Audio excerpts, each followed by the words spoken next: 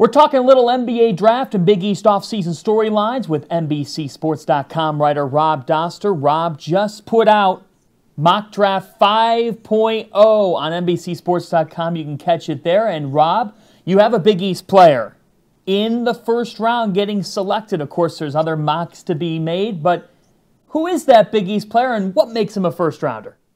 Well, it's Eric Paschall from uh, Villanova, and you know the consensus on him seems to be a little bit lower than where I am. I just think he's one of these guys that fits in terms of what you want out of an NBA player these days. You know, he's crazy athletic. We all saw that. He's six foot six. He has a wingspan. He's able to make threes. He can guard up if you need him to. He can guard down. Uh, he played in a system at Villanova that just churns out NBA role players. I mean, Josh Hart, Ryan Arcidiacono, all of these guys end up lasting in the NBA a little bit longer than maybe uh, people expected. And I think that has to do with the way that Jay Wright coaches and teaches and develops players within his program.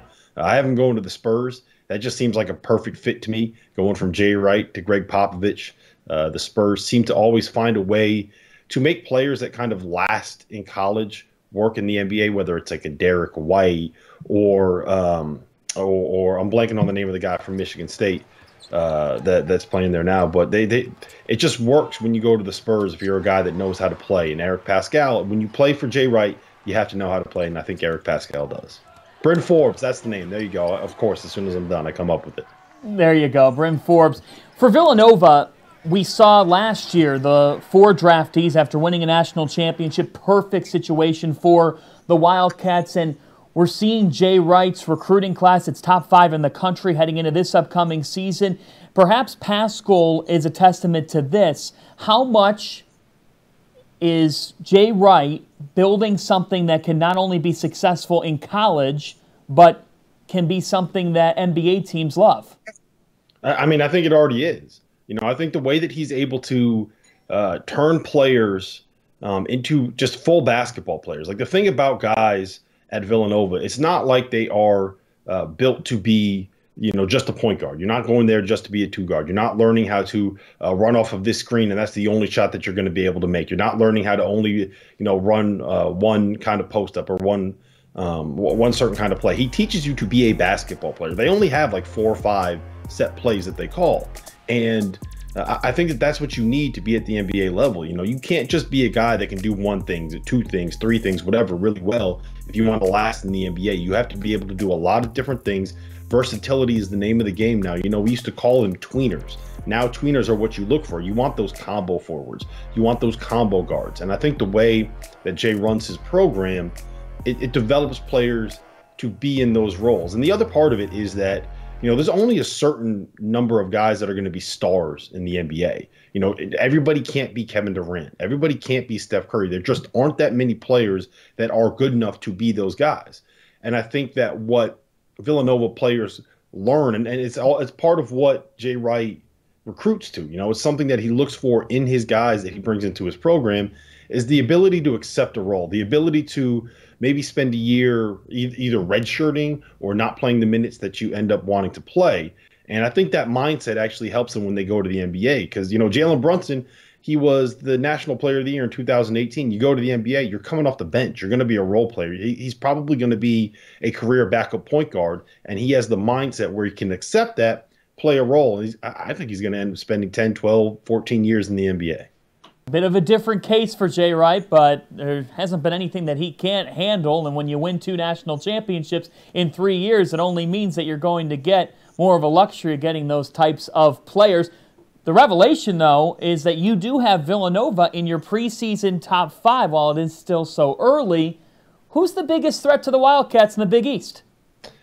I would say it's probably Seton Hall if Myles Powell comes back, assuming that he does come back to school you know, they basically bring back everything from last season. And, and you know, last year they were uh, one of the more dangerous teams. Um, I do think that it all depends on Myles Powell. That's not really, you know, I'm not breaking news here. He's, he's probably going to end up being one of uh, the most dangerous scorers in all of college basketball. Uh, but with uh, with the Hauser brothers gone, I just I don't know if I can fully trust Marquette at this point. If they were back, you know, I had Marquette three nationally, third with the Hauser brothers back. But without them, you know, I, I just need to see, you know, guys like Brendan Bailey prove it to me. And, and I got to see how, you know, Koby McEwen adjusts to life in the Big East versus life uh, playing at Utah State. So for me, I think that is probably Seton Hall. That said, you know, it's going to be really, really good at the top of the Big East this season. I got five, or I have four, without Marquette, I have four Big East teams in the preseason top 25, along with uh, Creighton and Xavier, who both, I think, could end up uh, challenging, you know, Seton Hall and, and Villanova at the top of the league. Let's get back to NBA draft storylines for a moment. Shamorie Ponds invited to the NBA draft combine, which is going on this week. What about Shamorie's game could make him valuable for a team in the second round? Uh, he's just such a dynamic scorer and a dynamic playmaker, and he can operate in ball screens. He can create in isolation. And, you know, at the end of the day, teams are looking for that. You have to be able to do something at an NBA level to get picked in the second round. And Shamorie Ponds can score and create the NBA level. The thing that makes me uh, a little bit bullish on him is in terms of a prospect is the fact that he was much more of a creator this past season uh, than he was two years ago. You know, I think his efficiency was up. He shot the ball better because he didn't try to force as much. Uh, I think one of the things that was really promising about him is that he kind of let the game come to him a little bit. You know, there were times where uh, he would let other guys go out and create in the first half, and then when St. John's was down or they needed a run, he would try to take over in the second half. He made a lot of big shots throughout the year. There were games where St. John's probably shouldn't have been as close as they were at the end, but Ponds did make the plays down the stretch a lot of games, especially early in the season uh, when St. John's needed him to. I think he's got a chance to hang around for a little while as a backup point guard. I don't think he ends up being a starter. I don't think he ends up being an all star or anything like that. But I think if you can get him in the second round, get him on your second team, and let him go at other NBA second teams, I think that he is talented enough uh, to be able to find a way. I think there's a job for him in the NBA. Let's put it like that.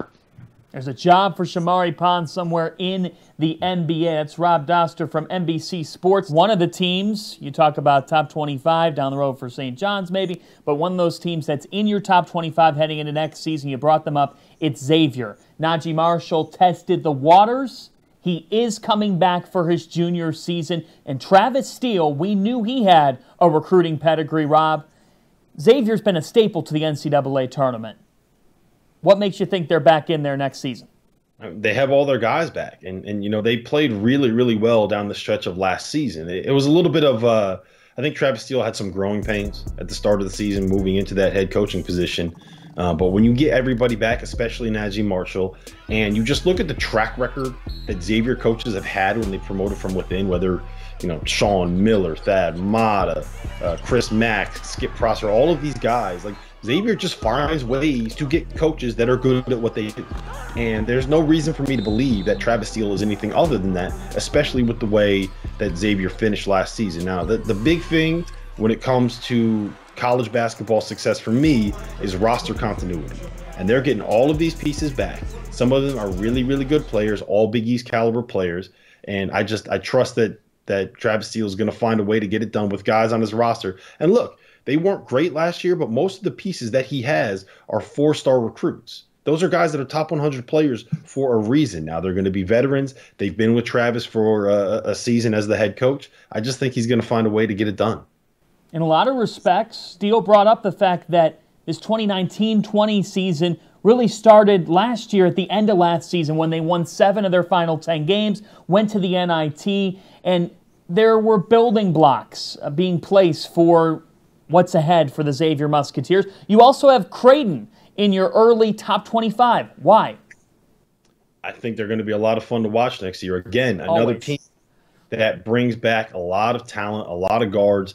I think that this is the year that Ty-Shon Alexander and Mitchell Ballock end up making that leap to being guys that are kind of all Big East caliber players. I'm kind of betting on that. I think Marcus Zegarowski is going to end up being a guy that I don't know if you could put him on a breakout player list because I still think he's probably their third option, but I do think he's going to be one of these guys where at the end of the year you're saying, okay, he's a lot better this year than I realized he was.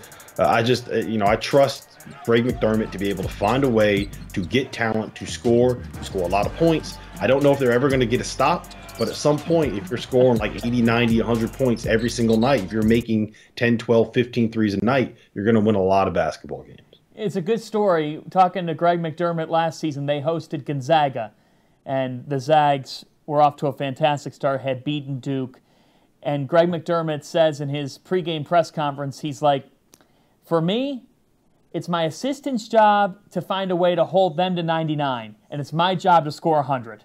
I mean, that's exactly the way that they run their program, and it's the way they've been doing it. The funny thing about that is, I don't know if you remember him from his Northern Iowa days, but that is not what he did at all. You know, back in the day when he had those good teams, he, they were running possession by possession. They were running a lot of uh, set plays, a lot of offense. They were draining the shot clock. They were really, really good defensively, and that's not what they are now. It's, you know, it's it's it's like when he had his son and he realized how good his son was, and he had guys like Ethan Wragge and he had guys like Grant Gibbs. He just decided, look, you know what? Uh, this is what I have. This is how we need to play. I'm going to make it effective. And all of a sudden, boom, it's fun. You recruit a guy like Mo Watson. All of a sudden, you have another All American. You have another top 10 caliber team. And, you know, I think he kind of got addicted to the scoring. So I don't blame him. It's more, uh, let me put it like this it's more fun to watch you play this way, Greg, than it was to watch you play when you're at Northern Iowa. So don't change. It's so fun that Rob Dauster has a Doug McDermott bobblehead right in his right in his room. It it never leaves you, Rob. That Dougie McBuckets jumper. I, I hear you've tried it out a couple times.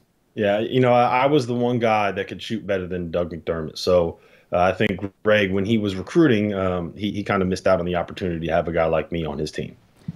He hasn't found that Mount Laurel, New Jersey footprint quite yet. He has not. He has not. He needs to. He needs to expand his uh, his geographic range when it comes to recruiting. We did everything but give out Rob's address. Rob Dauster, NBCSports.com. Check out his mock draft, and he's got college basketball covered there throughout the year. Rob, thanks. Thanks, John.